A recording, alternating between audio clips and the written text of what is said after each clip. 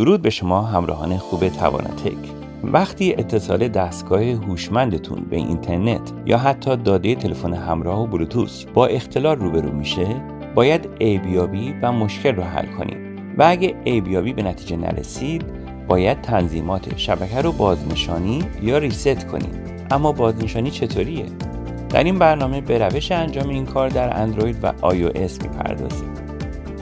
ابتدا دقت داشته باشین که شما با بازنشانی تنظیمات اینترنت یا شبکه دستگاهتون در حقیقت تمامی تنظیماتی که تا پیش از این اعمال کردین رو از دست میدین و دستگاه رو از نظر شرایط و وضعیت اتصال اینترنت به حالت کارخانه و تنظیمات پیشفرزش برمیگردونید ابتدا iOS. برای انجام این کار در آیفون وارد بخش تنظیمات یا همون setting دستگاه بشید و گزینه General رو انتخاب کنید. روی Reset بزنید. و بعد گزینه Reset Network Setting رو انتخاب کنید.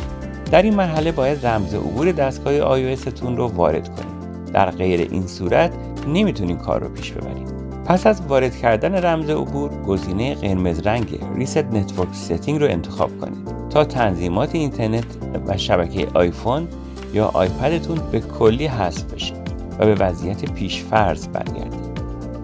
اما اندروید به تنظیمات گوشی برین و وارد بخش سیستم بشین. به بخش Advanced و بعد Reset options برین. و گزینه Reset Wi-Fi mobile and Bluetooth رو انتخاب کنید. حالا روی Reset Setting بزنید. در مرحله بعد هم روی Reset Setting بزنید. حالا پس از مدت کوتاهی تمام تنظیمات وای فای داده تلفن همراه یا mobile data و حتی بلوتوث به حالت اولیه برگردونده میشن. سپاس از همراهیتون.